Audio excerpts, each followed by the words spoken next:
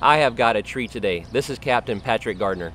Pat, I've known Pat for several years. We've fished many pro level tournaments together. The guy blows my mind with the knowledge he has of wade fishing and trout, big trout. And don't get me wrong, the guy is nasty drifting out of the boat, but the stuff he lays on me daily while we're wade fishing, he'll just say something and it blows my mind. It's stuff I haven't heard from people that, that have been fishing for 50 years. So today it's a special treat. Pat's going to tell us about what he uses to plan a trip, what he wants to see when he gets there, what he throws to catch them. Um, check him out, Pat Gardner, Patrick Gardner on Facebook, Captain Pat Gardner yeah. on Instagram. Go look at the fish this guy's been catching, and and not just him, customers, uh, friends, people that are with him.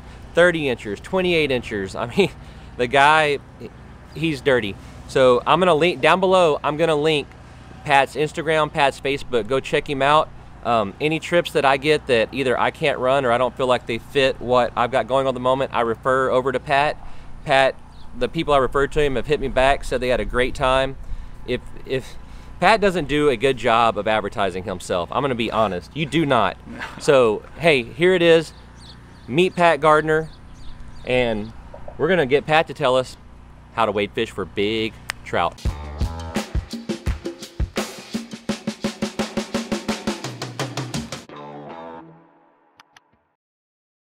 All right, so let's jump right into it. Pat, you pull up to the dock, you launch your boat, you're gonna go wade fishing today. What what goes through your head? And this applies whether you're walking in in a boat, it doesn't matter. What goes through your head when whenever you think, where's the first place I'm gonna go this morning? Biggest thing is to be wind direction and tidal movement.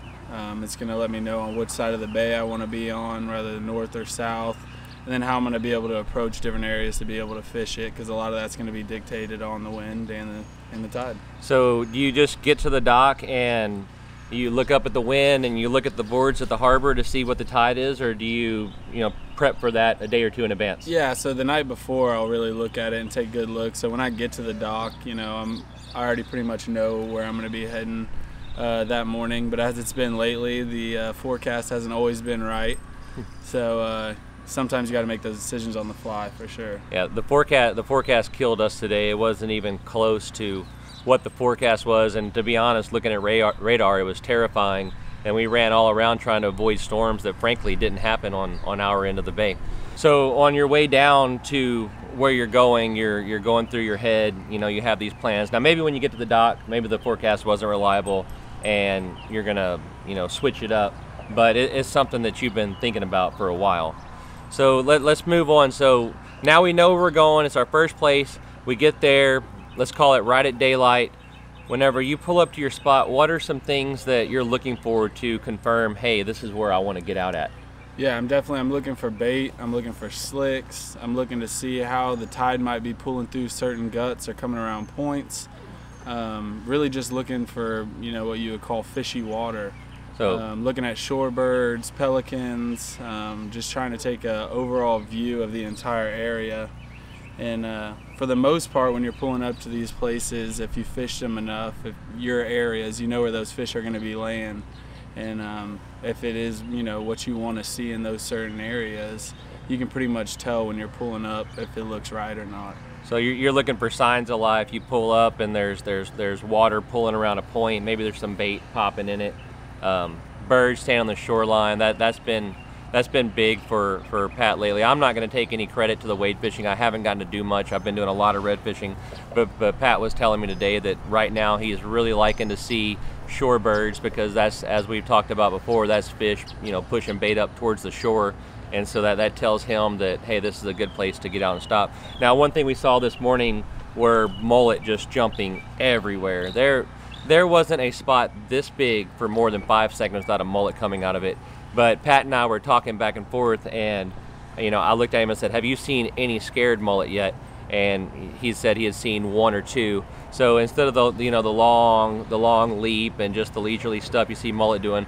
we're looking for ones that are kind of skipping along the water. At one point we looked up against the shoreline and about probably 10, 12 mullet at a time just just kind of sprayed out. So that's what that's a lot what Pat's talking about whenever he says seeing bait. Right now in the summertime, you can pull up to just about any given place, and if it is if it's anything more than deader than a hammer on the bay, you're going to see bait jumping. But what you want, what you really want to look for is the, the fast movement. I like to see a mullet come out of the water and his tail still flapping, or maybe you know he comes out and kind of does a little flip or something. Something that says that that fish is frantically trying to get away from something. All right, so you get there, you get out of the boat, and what? It's still daylight. You've just got there. What's the first lure you're probably going to tie on? Top water for sure, depending on what the wind's doing. Um, for the most part, I've been very shallow. If you know my kneecaps are getting wet right now, uh, then that's that's not normal. So um, you know we've been in two foot of water or less for the most part. You know sometimes they'll be on the drop offs and you'll slide off into that thigh deep, maybe even waist deep water. But for the most part, they've been pretty skinny. So I'll start with a top water, as long as the wind allows me to throw it. You know if it's blowing 30, I'm not going to be throwing a top water but start off with the top water and then make moves from there. Now, is there a particular color you like to start with? Shiny, painted? Uh, yes and no. I, I'm a big fan of the spooks, so Super Spook, Spook Juniors, or even the one knockers. Um, been throwing a lot of the uh, gold and pink when I was down south. Uh, we caught a ton of fish on those. Here in Matagorda, I've been throwing a lot of the speckled trout color. Um, a lot of my color choices will dictate on the amount of light coming through. Is it an overcast day? Is it, you know, is it really a bright day? Um, I'm gonna let those kind of things dictate what color I'm throwing. Yeah. So, and those are some of my favorites there. For for trout, I absolutely love a one knocker. For redfish, I'm gonna I'm gonna be more towards a skitter walk. Don't ask yeah. me why. It's probably just a confidence thing. But I'm gonna throw a ton of skitter walk for a redfish. I'm gonna throw a lot of one knockers for trout. I even like I like the spook juniors. I'm not throwing a lot of super spooks right now though. The bait's a yeah. little bit smaller, so we're we're we're concentrating on the smaller stuff. In fact, this morning I was throwing that little uh, MirrOlure mirror mullet that I showed you guys in my favorite springtime baits video. I would say that it, that it it worked great. The bite was pretty dead. Um, I had one good trout, one big redfish. Pat had some redfish, and then he had four or five blowups, but they just weren't really cooperating this morning. It was windy we'll talk about that later. It wasn't. It, I don't even want to yeah. talk about. I don't want to talk about it no, anymore. About it. Okay, so you get out, you throw your top waters. You're you're kind of you're, you're using them as, as like a search bait. You know, in the early in the morning, they're more apt to blow up on them. Now, don't get that wrong. You can catch a fish on the top water all day long. Seen it, done it. it it's a thing. But get out in the morning, you're throwing your top water, using a search bait. You get some blow ups, you catch some, however it may be. But now it's later on in the morning, and we are at we're in the middle of June right now. So now it's starting to warm up. It's 9:30, 10 o'clock in the morning. Now what are you going to throw? Yeah, and like he said, I, there are days where I will keep a top water on all day long. Um, last week, for example, we were in Mansfield for four days, and two of the days they munched on top waters from first light until four in the afternoon. I mean, all day long top water bite. You know, those are the days you kind of dream about. Um, but for the most part, um, here in Matagorda, you know, you'll get a good top water bite first thing in the morning, and then I'm gonna most likely switch over to a tail, and that's this time of year. Um, with probably an eighth ounce jig head, 16th ounce, something light. Keep it up in the water column. In the wintertime, I'll uh, 90% of the time I'm throwing a corky and I'll leave that on all day. But for the most part, this time of year, I'll switch over to a tail and uh, go to work with that. Pat taught me into throwing tails this morning, and it they're very effective. You can probably catch more fish on a tail, um, you know, per hour of the day. It, it, it, when it's a negative bite, positive bite, anything, your tail has a very good chance. Me myself, I'm a quirky guy. I, I wanted to throw corkies all morning. I'm gonna be dead honest. The reason I didn't is because I had two in my box and they were both rusted up. So I threw a tail all morning too. We had a, we had a couple of flounder, you know, smack them pretty good. But okay, so and, and and correct me if I'm wrong, Pat, but from what I'm hearing from you is you're going to throw a top water until you quit getting getting action on it, and then you're going to move over to a tail. Yeah. Right. And then so you, will throw a tail, you know, all day. Um, and then later in the evening we'll often switch back to top waters you know right before sunset or something like that whenever the, the sun isn't as bad and you know maybe it's cooled off the surface of the water's cooled off a little bit um, you're seeing, maybe seeing some blowups. Yeah, and depending on the water depth and kind of the areas you're fishing, I will put on a soft dine as well this time of year. It can be extremely effective. Yep.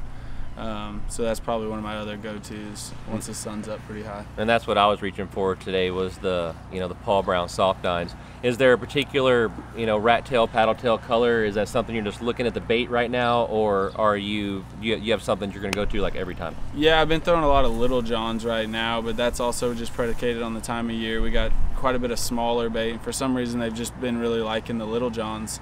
Um, but I throw mainly Little Johns, uh, Gamblers. If I want some with a little bit of a tail, I throw a lot of Gamblers. So um, the and the Little Johns you're talking about, they're made by MirrOlure. They're probably what three and a half inches long. Yeah, they're short. they're tough little guys and they're cool lures. You can catch as many fish as you want on them before you tear them up. Now, me personally, I think the Little Johns are working really well right now because there's a lot of shrimp in the water.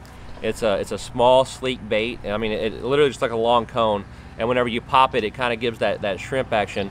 And one thing that I've noticed that is when shrimp are around, for some reason, fish love purple. Um, in the fall when the shrimp are heavy, in the spring when the shrimp are heavy, I'm throwing a lot of purple. Whether or not I use a white tip tail or, or a chartreuse tail, you know, maybe that's situational, but I, have noticed that, that the purple seems to be really good when there's shrimp around. Absolutely. And don't let it fool you either. You know, a lot of people say, you know, big bait, big fish, and that is true, absolutely, a lot of times of the year. But I mean, we've had a handful of fish over 30 inches in the past couple weeks come off of, you know, the little tiny little John. And I don't know how many 28s, you know, we've caught a lot of big fish on small lures right now. Yeah, Pat's been catching some absolute monsters on the bay. Um, you guys know me. You know I've, I've trout fished for, you know, 10 years plus. But my love, my love at the moment is red fishing. I've got tournaments going on. That's what I'm guiding on mostly. I, I have some trout trips, but I'm doing a lot of red fishing. And Pat's been sending me these pictures, and it, it almost makes me want to put down that medium heavy rod and pick up a medium light and get back out there with them. So so there you have it. You know, it's, it's, it's the thoughts and the mind of a great fisherman. So I learn something every day fishing with Pat. So go check Pat out on Facebook.